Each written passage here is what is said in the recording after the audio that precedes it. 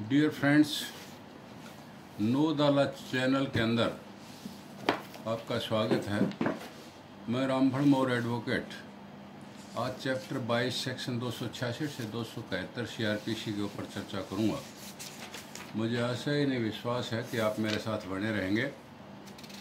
और सेक्शन दो सौ छियासठ के अंदर परिभाषाएँ दी गई हैं। परिभाषाओं से ये सेक्शन शुरू होता है।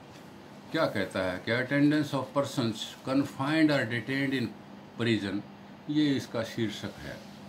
तो इस सेक्शन में जो डेफिनेशन दी गई हैं, पहली डेफिनेशन है डिटेंट डिटेंट जो है, इसके अंदर एक शब्द आया है प्रिवेंटिव डिटेंशन प्रिवेंटिव डिटेंशन देने के लिए किसी कानून के तहत डिटेन करना। तो डिटेंड का यही बात सीपीसी के ऑर्डर 16 रूल वन में भी कही है और सेम डेफिनेशन दो सौ छियासठ ए सीआरपीसी में दी गई है।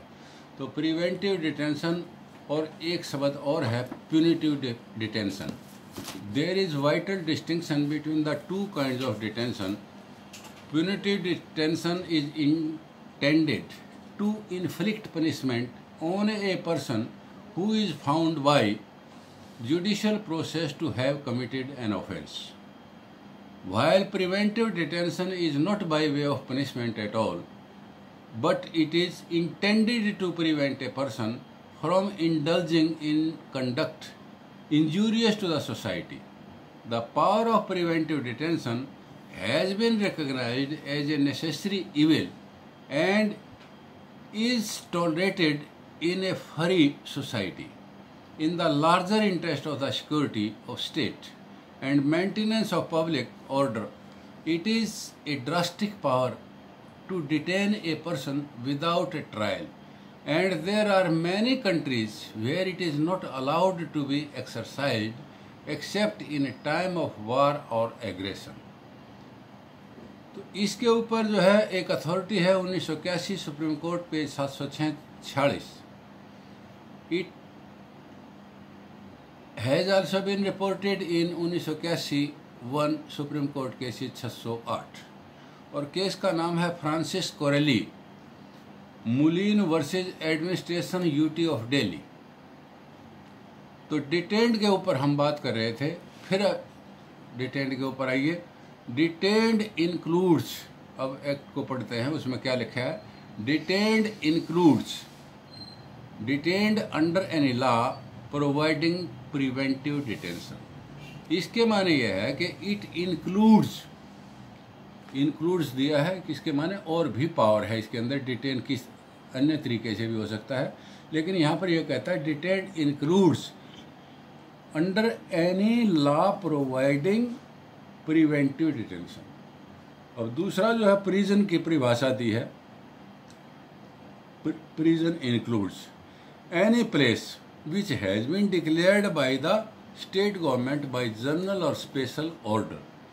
To a subsidiary jail यानी सरकार किसी भी स्थान को सब्सिडियरी जेल के रूप में घोषणा कर सकती है जनरल ऑर्डर से भी और स्पेशल ऑर्डर से भी। जैसे कई बार किसी को कोठी के अंदर जो है नज़रबंद कर दिया जाता है कि वो बाहर नहीं जा सकता। तो वो भी सब्सिडरी जेल कहलाएगी। अब एनी दो पार्ट में क्या कहता है? Any reformative reformatory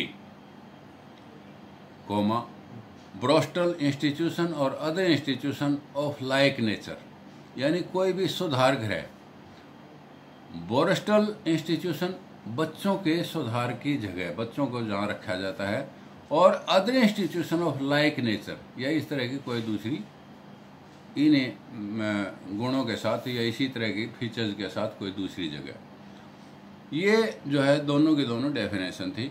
अब हम दो सौ सड़सठ के ऊपर आते हैं।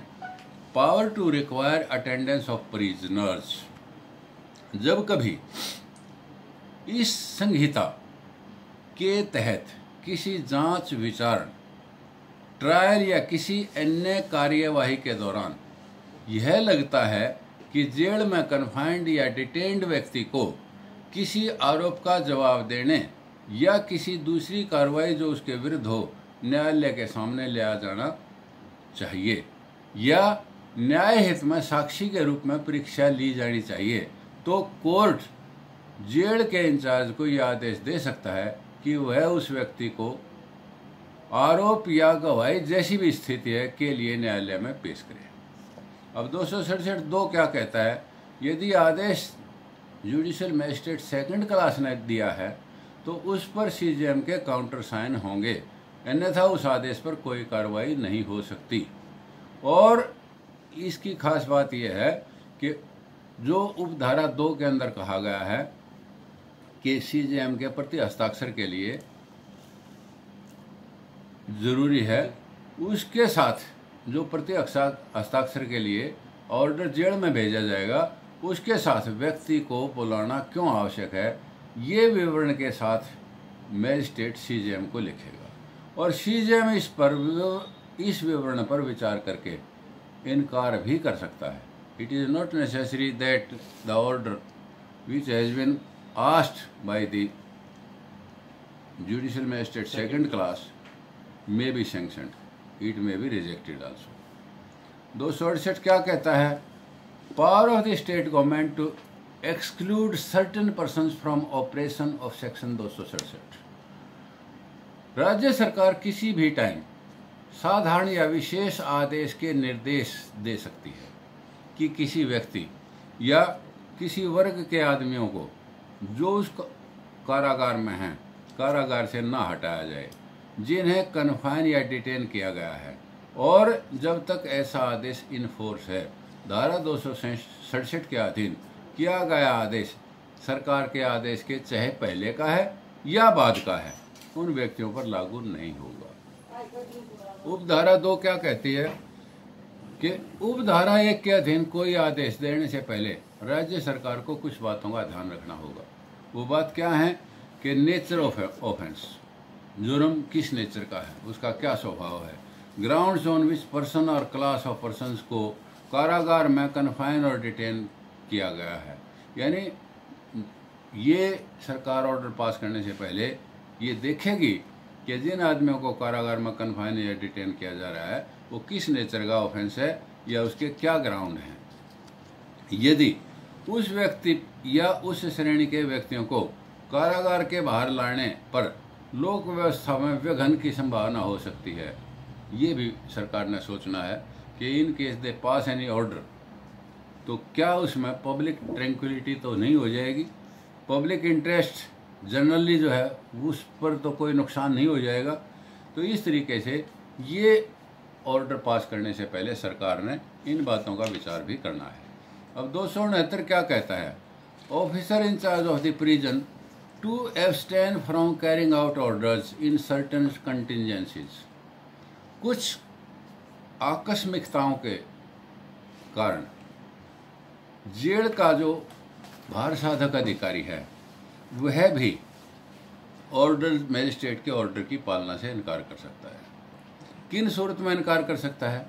कि यदि जो आदमी वहाँ पर जेल में है, उसको कोई ऐसी बीमारी है या इन्फर्मेटी है अंग शैथिल्य, जिसके कारण बाहर लेने के योग्य नहीं है। या अंडर कमिटल फॉर ट्रायल या अंडर रिमांड पेंडिंग ट्रायल या कोई प्रिलिमिनरी इंक्वायरी पेंडिंग है तो उसको पेश नहीं किया जाएगा। दूसरा, इसमें या जिस दिन न्यायालय बुला रहा है, उससे पहले ही जेल से रिहा हो रहा हो। जैसे एक आदमी की अठारह तारीख है, अठारह तारीख के लिए बुला रहा है, उसकी वो पंद्रह को रिलीज़ हो रहा है जेल से तो इसलिए उस आदमी को भी पेश नहीं किया जाएगा। या सरकार का कोई दो सौ अड़सठ के अधीन दिया गया आदेश लागू होता है, जैसा कि बताया था। तो जेल भार साधक अधिकारी ऐसा ना करने का कारण न्यायालय को भेजेगा कि आदेश की पालना में क्या व्यवस्था रही, क्या कारण था, जिसके कारण वह उसका पालन नहीं कर सका। परंतु जहाँ ऐसे व्यक्तियों को गुहाई के लिए बुलाया है, जहाँ बुलाया है उस स्थान की दूरी। 25 किलोमीटर से ज़्यादा नहीं होगी तो जेल अधिकारी आदेश को मानने से इनकार नहीं कर सकता। किन कारणों पर? जो दो सौ उनहत्तर के बी में दिए हैं। दो सौ उनहत्तर का बी क्या है? गवाही के लिए। तो दो सौ सत्तर क्या कहता है? कि prisoner to be brought to court in custody कि जब प्रिजनर को कोर्ट में लिया जाएगा तो उसे कस्टडी में ही, अभिरक्षा में ही लिया जाएगा। धारा दो सौ उनहत्तर के मानते हुए, धारा दो सौ सड़सठ ए के आदेश, जहाँ ज़रूरी हैं, वहाँ उसकी दो सौ सड़सठ दो के अधीन उस व्यक्ति को न्यायालय में पेश किया जाएगा, जिसकी हाजिरी अपेक्षित है, और उसे न्यायालय में या उसके पास कस्टडी में जब तक रखा जाएगा, तब तक उसका परीक्षण, यानी एग्जामिनेशन नहीं हो जाता, और वापस ले जाने के लिए नहीं कहा जाता। यानी कोर्ट परीक्षण के बाद ही ये कहेगी कि अब इस आदमी को ले जाइए। और दो सौ क्या कहता है? Power to issue commission for examination of fitness in prison jail में किसी आदमी की गवाही जो है लिखने के लिए कमीशन के द्वारा परीक्षण के लिए भेजना। तो सीपीसी में भी कमीशन अपॉइंट करने का प्रावधान है। उसका रेलेवेंट सेक्शन है पिछहत्तर। और ऑर्डर 26 में उसकी प्रक्रिया है।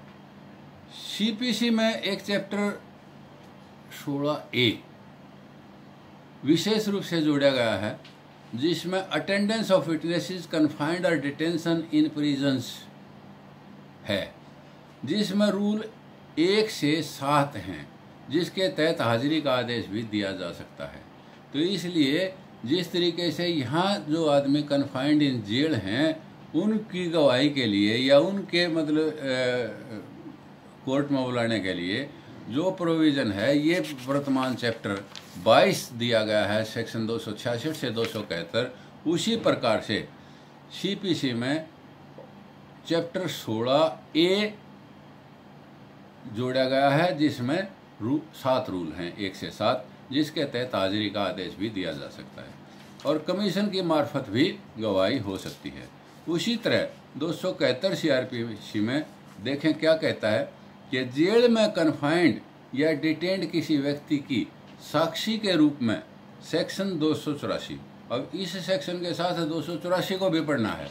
दो सौ चौरासी क्या कहता है कि when attendance of witness is dispensed with and commission issued यानी आदमी की हाजिरी माफ़ है और कमीशन इशू कर दिया तो कमीशन जो है, उस, वहाँ जा करके उसका बयान लिखेगा।